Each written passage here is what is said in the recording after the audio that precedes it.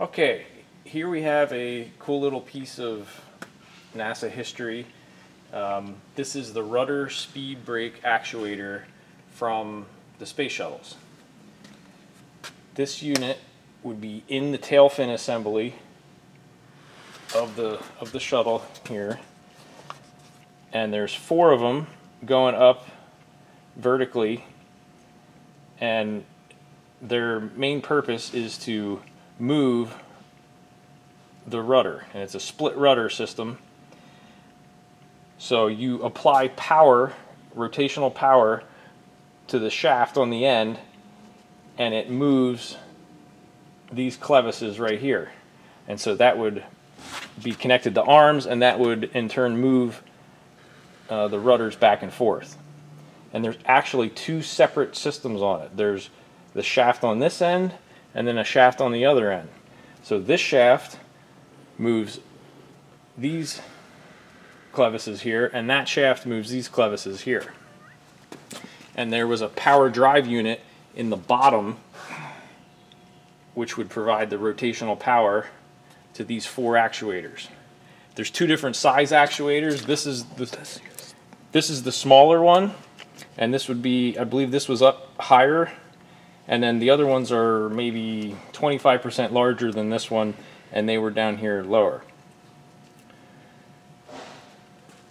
So this particular unit is the qualification unit. So this is what they used um, during testing while they were developing the shuttle.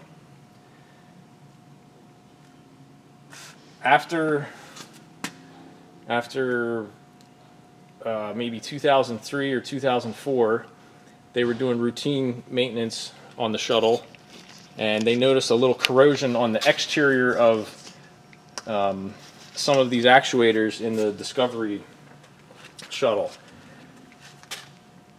They took these out and then wanted to open them up to make sure they were okay, and then they were a little surprised to find uh, more corrosion inside as well as unusual wear.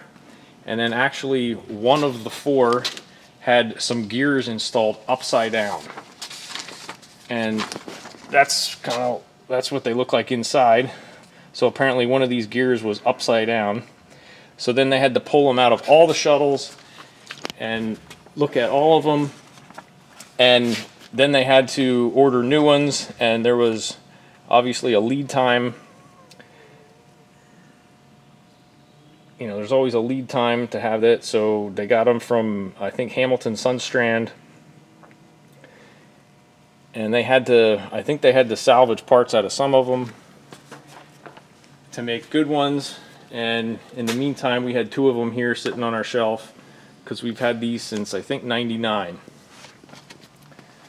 So here, I'll just put some, we just put a, just a coupler on here just to hook some rotational power up here with a drill just to show what it does.